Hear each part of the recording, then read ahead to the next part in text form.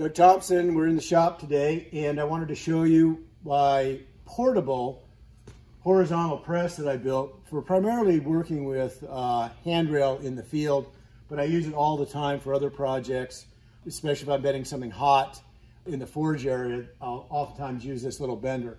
Kevin Potter USA got this from Kevin and it's an entirely contained hydraulic setup with the motor. The pump is in the uh, oil bath and here's the valving system.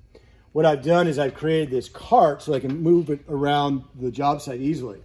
So by lifting up on that rod, the tube, then I can go ahead and use it like a hand cart and move it around the job site. I place these blocks here so that the part is in the center line of the cylinder. So for example, if I've got a handrail and I need to bend it, I'll go ahead and set everything up and I can just gently push it. And I'm kind of watching the scale because if the scale breaks, I know that I've bent it a little bit. So if I have a template or I'm just working by eyeball, I can very easily bend it and it'll, it'll bend much bigger bar than this. And if I were to overbend something, I'm merely going to turn it around and take the bend out. So I might come in and say I got too much bend and I'll take it out a little bit. And I just wanted to show you my method of bending.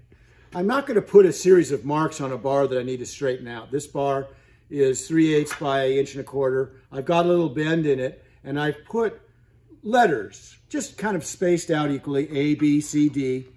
And then I can use those letters to quickly identify the, the point at which I've got to bend it, as opposed to just putting, you know, marks in a bar where you're going to get lost. You won't remember where you're at. I like to put numbers or letters along the bar, and then I'll go ahead and straighten it out, and I can quickly check to see where on the bar I'm going to need to continue to, to bend it. So here we go. I'm going to go ahead and straighten it out and I'll straighten this bar out.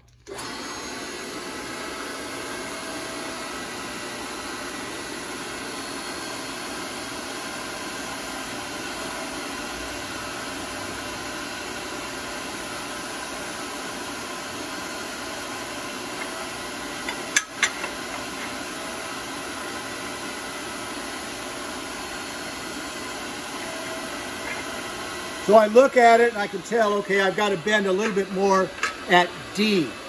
So I'll go ahead and do that.